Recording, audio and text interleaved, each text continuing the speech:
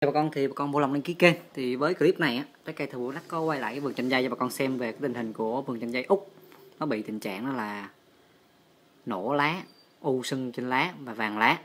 Thì cái tình trạng này á, hầu như tất cả các vườn chanh úc chúng ta đều bị á. Cái này nguyên nhân chính á, là do virus xâm nhập. Và cái thứ hai nữa là do nấm. Vì nó bị vào đó thường là mùa mưa. Thì ở đắk lắc chúng ta thì nó hay bị tình trạng bệnh chanh rất là nhiều là lúc mưa mưa tầm khoảng 2 đến 3 ngày là tất cả các vườn chanh dây đều bị bệnh hết. Thì với vườn chanh úc này được 7 tháng tuổi rồi trái rất là sai và đẹp. Thì hầu như bà con chúng ta nông dân á thì ai cũng trồng hết là chanh úc rất là nhiều. Nhưng mà cái đầu ra của chanh úc á, thì nó không được cao. Thì đây cũng là cái bệnh mà thối nhũng trên quả chanh úc nữa đó. Thì hai cái bệnh này nó cũng rất là phổ biến ở vườn chanh úc của anh Thuận ở Phú Xuân, Cà Đông Năng, Đắk Lắk. Thì anh trồng với vườn chanh dây thì anh nói là anh tốn rất nhiều thuốc rồi thì anh vừa qua anh đã phun cái cốc 85 nhưng nó không có hiệu quả. Anh cũng sử dụng rất nhiều thuốc nhưng không hiệu quả. Thì bệnh càng ngày nó càng lây đó. Nhưng mà con xem mà anh bức mình xem một quả đó. Nó bị thối, nhũng đi và chai cái trái đi. Cứng trái đi đó. Thì lá cũng bị săn luôn. Thì hầu như cái chanh úc á, nó kháng bệnh không có cao bằng chanh đài loan.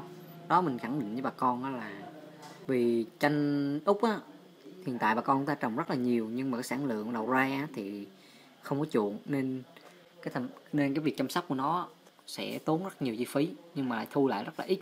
Nên qua đây á, mình cũng khuyên bà con á, nên trồng chanh Đài Loan đi không nên trồng chanh Úc nhiều. Vì giá thành thứ hai nữa là cái sức chịu đựng kháng bệnh của chanh Úc nó không bằng Đài Loan. Thì đây cũng là một cái chanh dây chanh dây đó chanh dây Úc nè bị vàng lá sấn lá rồi nè đốm lá hết á.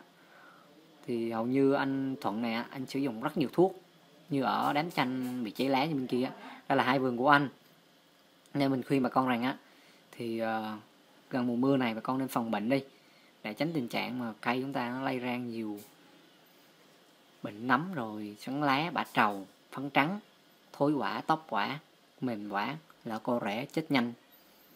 Thì hầu như tất cả các bệnh ở trên đó mình nêu thì ở vườn chanh dây nào cũng phải có một đến hai bệnh nhưng mình đã nhắc bà con xem.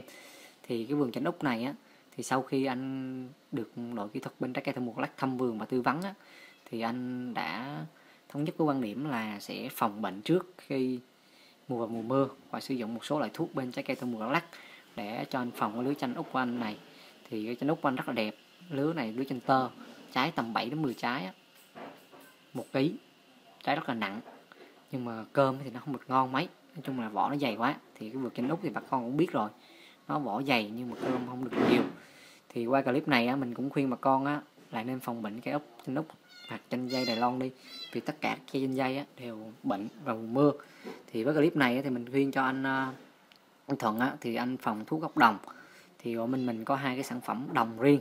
Này chào theo dạng nano nên nó có sức kháng bệnh và chữa bệnh rất là cao. Anh mình cho anh phun định kỳ 7 ngày một lần phun 3 lần. Thì cái lứa mới nó sẽ ra sẽ hết và không bị nữa.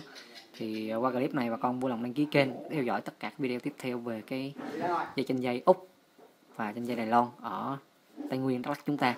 Xin cảm ơn bà con đã quan tâm và theo dõi cái kênh.